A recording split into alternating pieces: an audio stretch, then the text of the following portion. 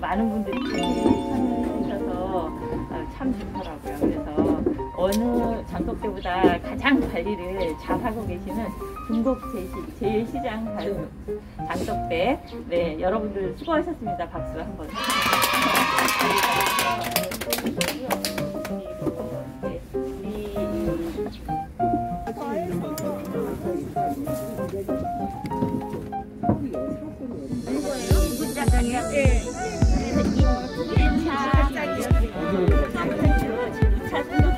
예.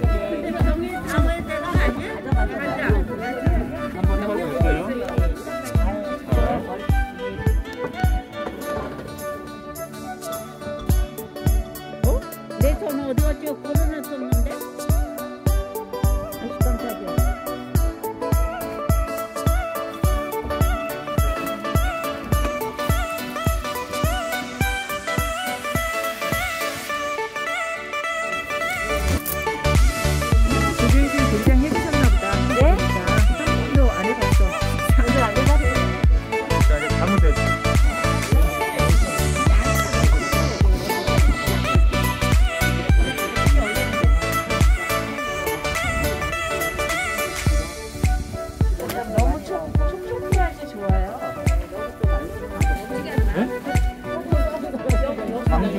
가장 싸움을 잘하는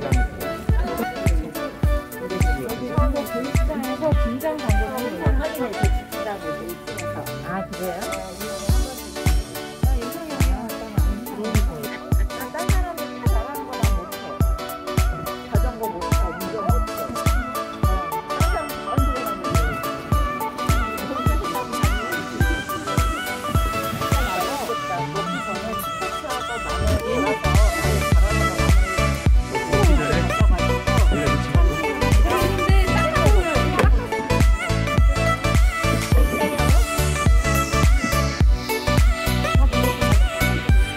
우리 전통식품의 우수성을 알리고자 시작한 이 광진 장독대가 저희 지금 중국 제일시장에서 두 번째를 맞이했어요. 그래서 작년에 하고 올해 지금 두 번째 해서 3월에 장 담그기를 시작으로 5월에 장 가르기 그리고 지금 11월에 이렇게 참여자분들이 참여하시면서 지금 장 나누기를 시작하고 있는데 어, 맛도 너무 좋고 지금 냄새나 이런 게 너무 좋은 것 같아요. 그래서 앞으로도 계속 우리 이 장 나누기나 장독대 사업이 지속적으로 이어졌으면 좋을 것 같아요. 네, 그동안 수고 많으셨습니다.